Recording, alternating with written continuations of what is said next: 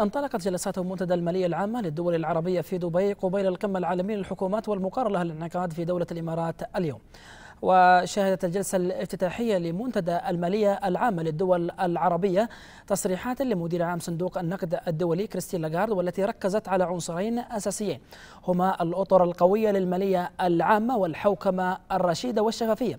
وأكدت لاغارد عن نجاح كل من المملكة والإمارات في تقوية أطر ماليتها العامة.